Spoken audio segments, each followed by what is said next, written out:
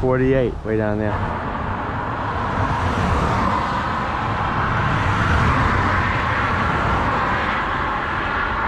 Seventy-eight. Thirteen miles per hour. In this video, I'm going to explain how the radar gun works, and we're going to open it up and take a look at the inside. The sports radar gun you see here is made by Bushnell, and the model is Velocity.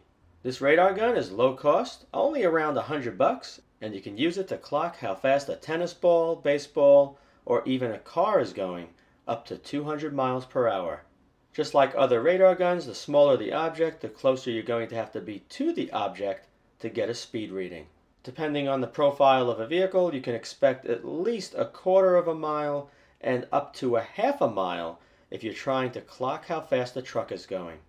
So if you're dealing with a Corvette, you're going to have to be much closer, probably one quarter of a mile.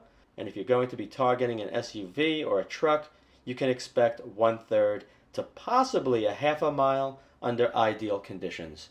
This one here has a very comfortable grip.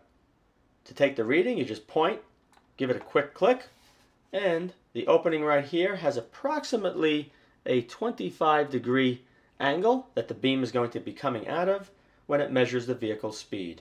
To calculate the speed of a moving object that's going away from you or coming towards you, radar guns use Doppler shift. To understand how the radar gun works using Doppler shift, the first thing you need to understand is Doppler effect. At one time or another, we've all been standing outside, heard a siren in the distance, and as it approached, you could hear the sound of the siren change, and as it zooms by and heads away from you, the sound continues to change. That's Doppler effect, and you can hear it right here in this example.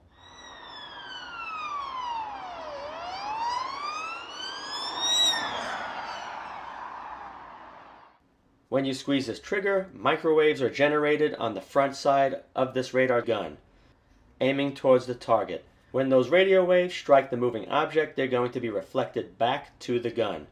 The gun is going to calculate the shift in frequency between the radar that was sent at the vehicle and the radar that was received coming back. There's a microprocessor inside the radar gun that does the calculation in a fraction of a second. The radar gun works proportionately so objects coming at you or going away from you can be measured. This radar gun I believe is an X band, meaning the frequency that's coming out of the front is going to be around 10 gigahertz. So if the frequency that leaves at 10 comes back higher, that means the object is coming at you because it's going to be bouncing back faster towards the gun.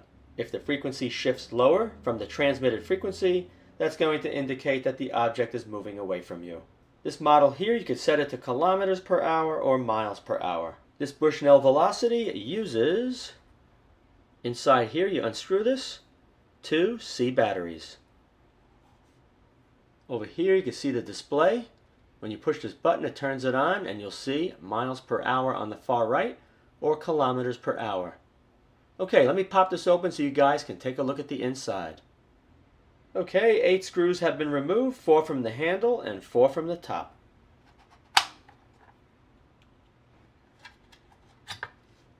Okay, here we have a very simple spring-loaded switch. Makes contact right there. You have the small board. There's another board here that has the LCD display and a microprocessor I'll show you in a minute. Over here is the radio frequency section.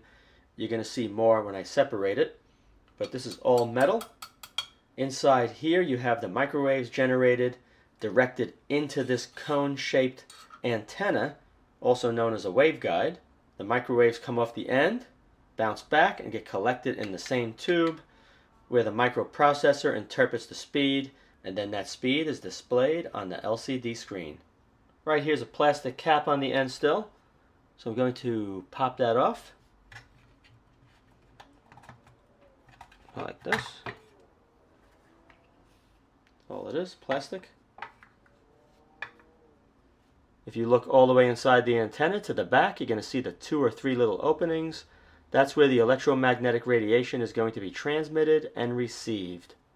Right here's a look at the other side of the board with the antenna. You can see this metal box. That's where the microwaves are generated and received. Down here is an adjustment screw and another one over here.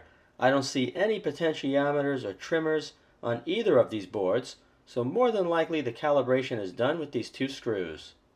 Over here on the other board, on the opposite side of the LCD display, is an MSP 430F413 Texas Instruments microcontroller.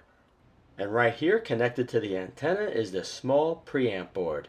You can see the capacitor right over here. You want to be very careful if you own one of these radar guns because it could be easily damaged if you drop it. And guys, that is it. It's definitely worth the hundred bucks if you're looking for a radar speed gun. Thanks for watching.